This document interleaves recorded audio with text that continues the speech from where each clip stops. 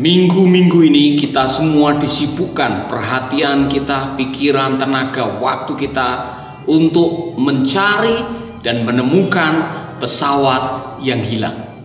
Mengapa yang hilang begitu diberi perhatian? Karena pengalaman terhilang itu sangat-sangat menyedihkan.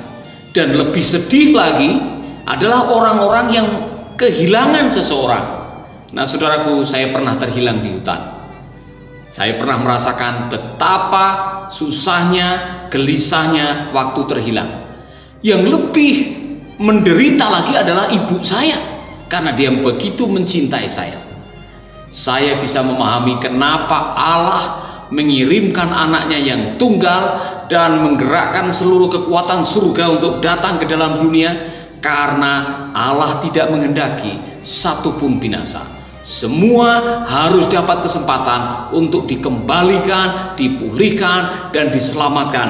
Itulah sebabnya tidak ada yang boleh terhilang.